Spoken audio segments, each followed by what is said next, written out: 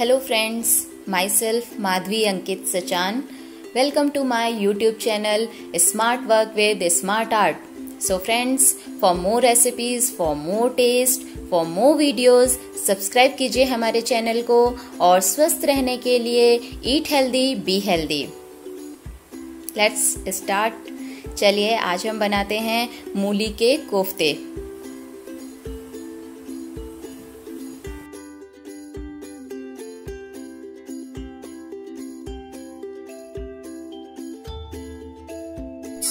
एक प्याज, अदरक, थोड़ी सी लहसुन और थ्री ग्रीन चिली।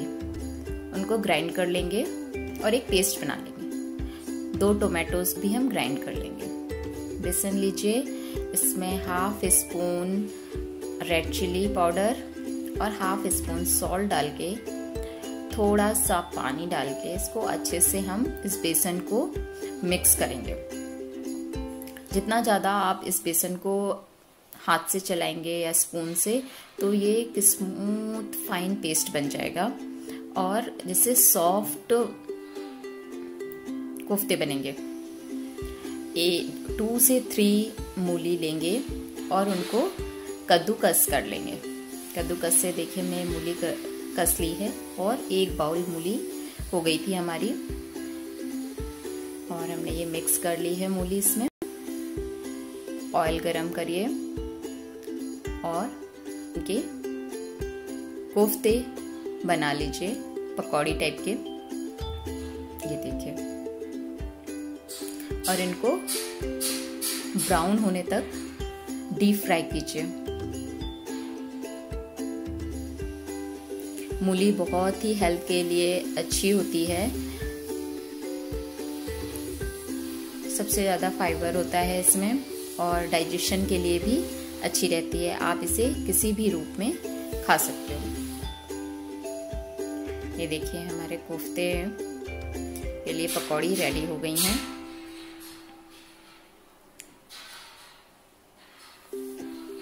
तो निकाल लीजिए। इसी तरह से सारे बना लीजिए।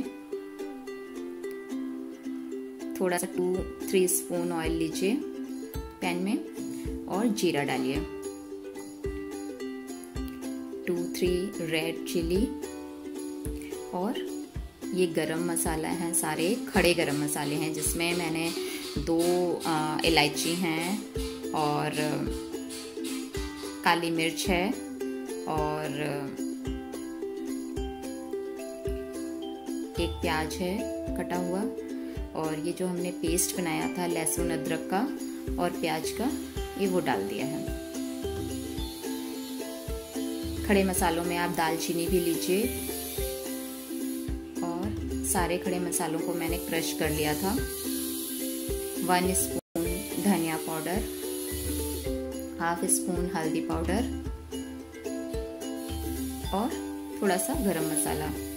वन फोर्थ स्पून या हाफ़ स्पून ले सकते हो। अगर आप ज़्यादा मसाला नहीं खाते हो तो आप गरम मसाला मत यूज़ कीजिए, जो पिसा हुआ डाला है। इसको थोड़ा सा फ्राई कीजिए जब ऑयल छोड़ने लगे, तब इसमें टमाटर के जो हमने ग्राइंड किया हुआ था टमाटर तो वो डाल दीजिए और इसे थोड़ा सा पकने दीजिए टू थ्री मिनट्स और ये देखिए, पकने लगा है। अब इसमें हम पानी डालेंगे।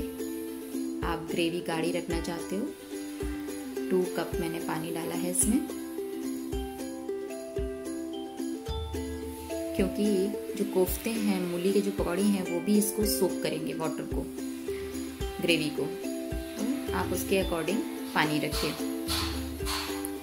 इसको पकने दीजिए इस ग्रेवी को। जब ये ग्रेवी बॉयल होने लगेगी तब इसमें सॉल्ट डालिए और इसको पकने दीजिए।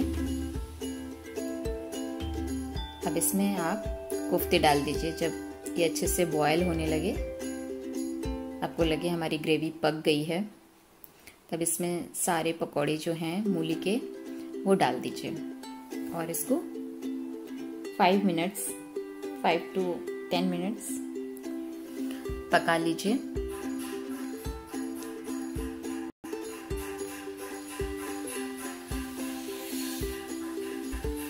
देखिए ऑलमोस्ट हमारे रेडी हो गए हैं, गैस बंद कर दी और इनको निकाल लीजिए। सर्व करते हैं।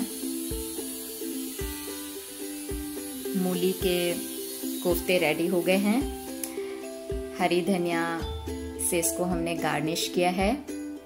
ये देखने में जितने ही डिलीशियस सुंदर दिख रहे हैं, खाने में भी उतने ही हैं। एक बार आप ज़रूर ट्राई कीजिएगा।